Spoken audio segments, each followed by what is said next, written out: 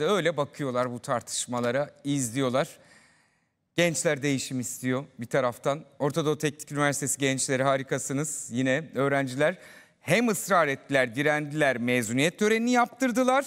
Yönetimin yasaklamak istediği töreni yaptırdılar. Hem de dövizlerle, pankartlarla gündeme dair her şeyi söylediler.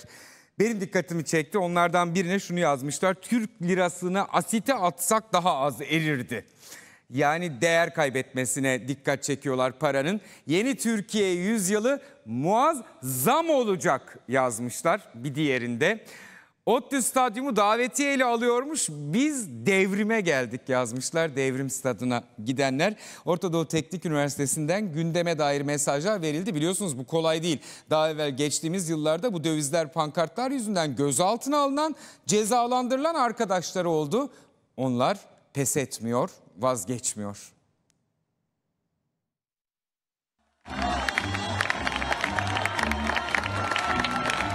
Orta Doğu Teknik Üniversitesi 2022-2023 mezuniyet törenini gerçekleştirdi fakat kısıtlama kararlarıyla. Dünya üniversiteleri arasında kendisine yer bulan ODTÜ her yıl mezuniyet törenlerinde verdikleri toplumsal mesajlarla gündeme geliyordu. Bu sene öğrenciler sıkı güvenlik önlemleriyle karşı karşıya kaldı.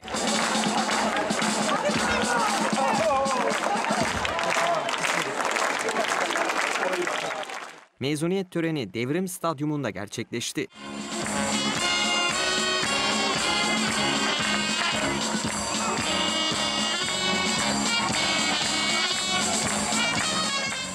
Rektörlük yürüyüşte taşınacak pankartların kontrol edileceğini, alana ülke bayrakları haricinde bayrak alınmayacağını duyurmuştu ve Devrim Stadyumundaki yürüyüşe de davetiye şartı getirilmişti.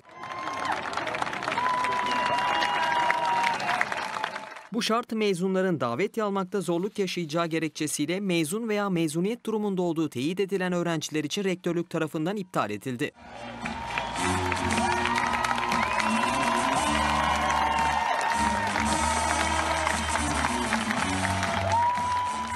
Alınan pankart kararıyla da hazırlanan yazıların bölüm başkanlıklarınca veya iç hizmetler tarafından kontrol edilmesi gerekiyordu. O tür öğrenciler bu uygulamayı reddetti.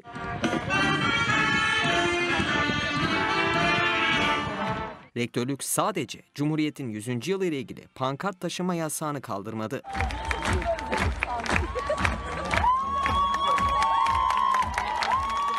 Öğrencilere, pankartlara, bayraklara ve flamalara getirilen yasağın çiğnenmesi durumunda adli ve idari işlemlerin başlatılacağı bildirildi.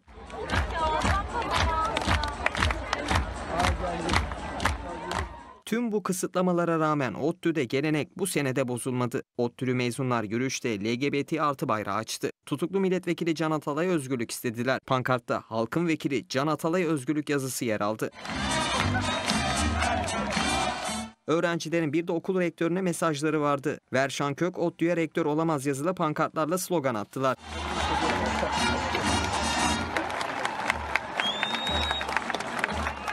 Türk lirasını aside atsak daha yavaş erirdi yazılar hazırlandı. Huzur parası alanlarda.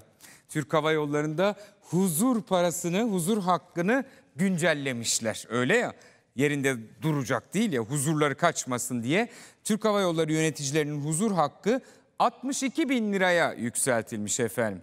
Huzur hakkı ücreti 25 Temmuz'a kadar 3 kere zam gördü zaten bu yıl bir zam daha gelmiş. Türk Hava Yolları yöneticileri yılda 4 huzur hakkı kadar ikramiye ve 15 bin liralık da bayram ikramiyesi alacaklar. Öyle uygun bulmuşlar.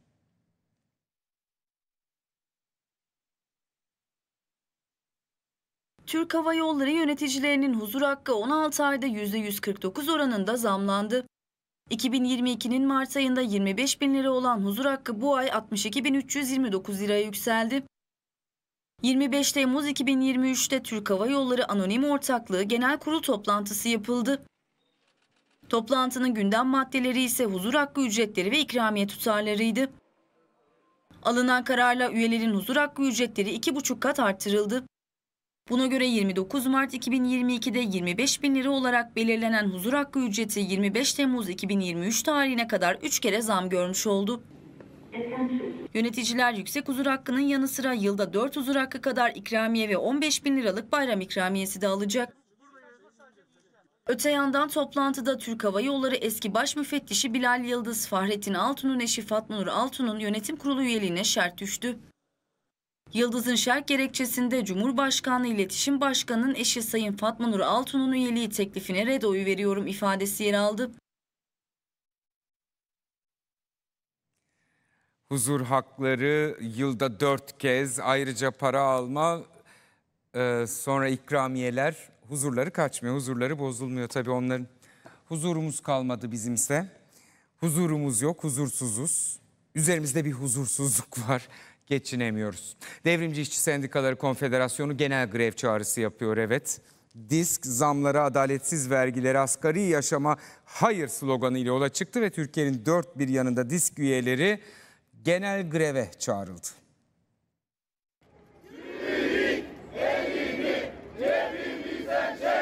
Türkiye Devrimci İşçi Sendikaları Konfederasyonu zamlara, adaletsiz vergilere, asgari yaşama hayır diyerek 12 bölge 18 şehirde bir araya geldi.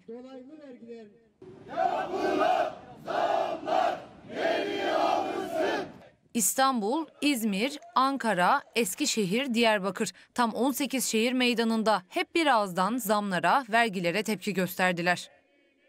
Ankara'da ulus heykel önünde bir araya geldiler. Bu düzene karşı sesimizi yükseltiyoruz dediler.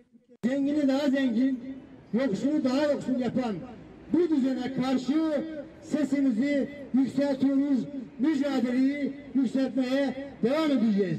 Gelirde adalet, vergide adalet istiyoruz. İzmir'de Kıbrıs Şehitleri Caddesi'nde ıslıklarla, sloganlarla yürüdüler. Adaletsiz vergilere hükümet istifa diyerek tepki gösterdiler.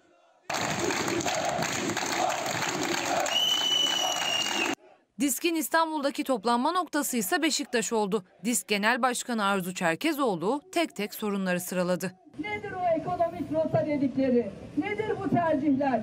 Birincisi paramızı ücretleri asgari ücretten emekli aylıklarına kadar bütün ücretleri baskılamak, bütün ücretleri düşürmek ve milyonlarca işçiyi, emekçiyi, emekliyi yoksullukta eşitleyen politikalar. Yani istiyorlar ki herkes asgari ücretle çalışsın. Sendikalı toplu sözleşmeli iş yerlerinde bile herkes onların belirlediği, onların reva gördüğü açlık sınırının altındaki asgari ücretle çalışsın. İstiyorlar ki bütün emekliler onların reva gördüğü en düşük emekli aylığına mahkum olsun. Bültenin başında Ankara'da yetersiz bakiye sesleri yükseliyor demiştim. Toplu ulaşım zammından bahsetmiştim. Yolda olan zaten çileden çıkıyor. İstanbulluların gözü de bugünkü toplantıdaydı. Ulaşım Koordinasyon Merkezi toplantısı yapıldı ama anlaşma sağlanamadı. Ulaşım sektörü temsilcileri %65 ile %200 arasında değişen oranlarda zam istedi. İstanbul Büyükşehir Belediyesi'nin teklifi %57 idi. Anlaşma olmadı. Temmuz ayı enflasyon açıklansın. Ağustos'un ilk haftasında bir anlaşma sağlanır. İstanbul'da da toplu ulaşıma zam gelir diye bekleniyor. Biz bakanlığımızın teklif ettiği yüzde 40 oranını da kabul etmiyoruz. İstanbul Büyükşehir Belediye'mizin teklif ettiği yüzde 57 oranını da kabul etmiyoruz. Bizim giderlerimiz burada, parametremiz burada. İstanbul'da toplu ulaşım zammında anlaşma sağlanamadı. bir oldu bittiyle ya da herhangi bir tarafı diğerine kırdırarak bir oylama yapmamayı tercih ederim. Hepiniz uygun bulursanız komisyonumuza geri çekelim.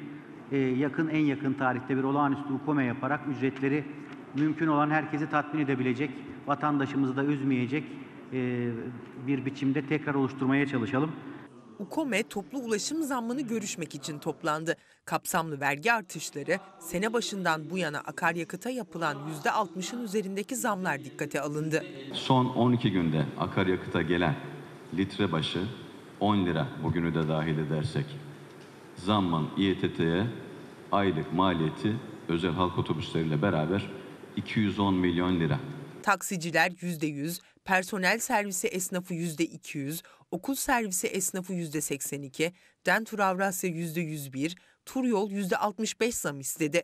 Bu rakamlar bizi kesinlikle kurtarmıyor.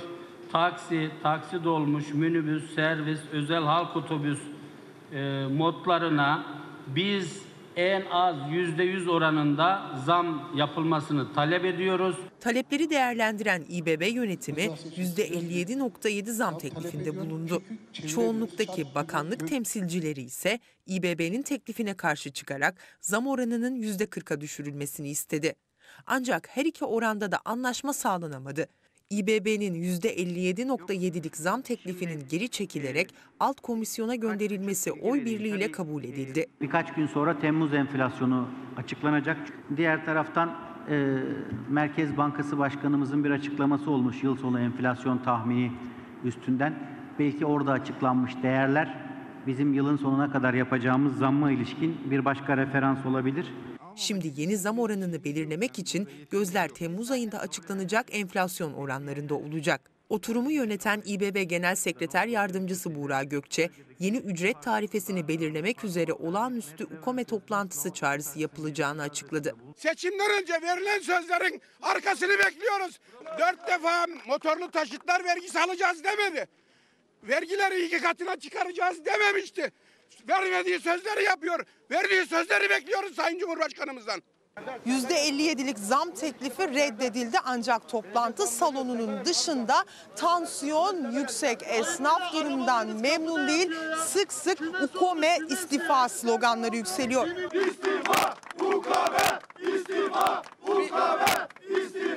Biz buradan geri dönüşümüz yok. Evimize ne zaman ekmek götürebilirsek o zaman gideceğiz. Dolmuş, taksi esnafı maliyetler altında kazanamıyoruz, hakkımız olan zammı istiyoruz derken aynı anda bir başka noktadaysa yapılacak olan zamma tepki vardı. Asgari ücret alan bir emekçi eğer içeride toplantıda konuşulan zam oranı kabul edilirse asgari ücretinin yüzde onu ulaşım giderlerine gidecek. Bu kabul edilebilir.